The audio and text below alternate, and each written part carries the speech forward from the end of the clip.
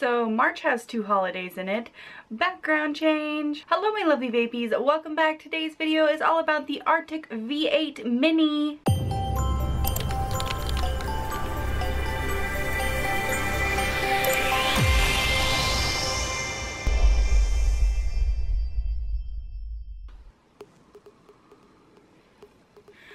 Guys, better late than never. Today I am doing a video for the Arctic V8 Mini. When the Arctic came out by Horizon Tech, I was so impressed. It was one of my favorites. It was wildly popular and I know there's been a couple different versions now.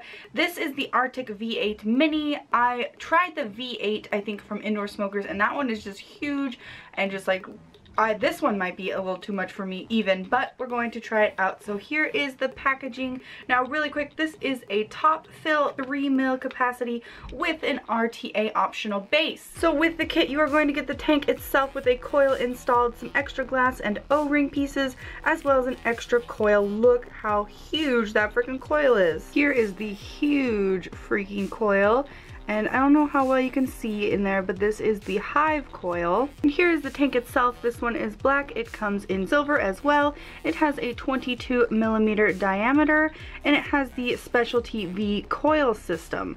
It is compatible with the standard V coils as well. This is especially designed and configured. The coil installed is the tiger coil. This also is has the snake coils as well. This is a pyrex glass tank and it has adjustable airflow at the bottom and a 510 connection. Each airflow slot is 7 millimeters by 2 millimeters. It has a spiral splash proof vent which drastically reduces spitback and it is a stainless steel body as well. So the Hive coils, which it comes with one, is a 0.3 ohm coil. It's good for 80 to 120 watts and it's double dual twisted Kanthal. The Tiger coil, which it also comes with, are 0.3 ohms and good for anywhere between 60 and 80 watts. And this is a mixture of flat and round twisted Kanthal. Now these are the snake coils and they are sold separately and they are 0.3 ohm. They are good from 40 to 70 watts. And this is flat Kanthal wire twisted around round Kanthal wire. And just in case anyone was wondering, the coils are 100% Japanese organic cotton. So the V8 Mini is one one of the first sub-ohm tanks to extensively utilize specially configured wire formations outside of Clapton coils. And I've seen this go from anywhere from like 30 to $35 depending on where you shop. So let's fill her up and give her a vape. To fill it, you just take the top off right here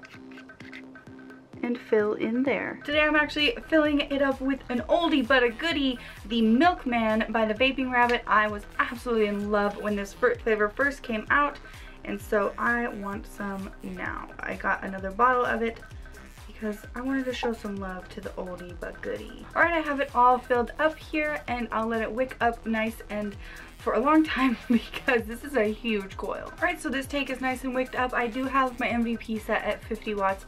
I am just such a low wattage vapor that I don't I don't enjoy vapes at high wattages so even if the recommended wattage range is a little higher I always tend to vape a little bit lower than the recommended range. Of course my MVP wants to die on me right in the middle of a video like that's nothing new so I popped it on my Cool 4 Plus and did not adjust the wattage because 30 watts is not enough to power this. Not this coil, nope. Holy crap.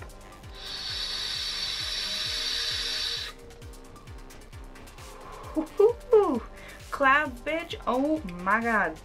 Wow. I am impressed. This thing is chucking the vapor. The flavor is really good. The airflow, it's really airy, but I feel like if I turned it down, it would be choky for me personally, but it sounds pretty loud.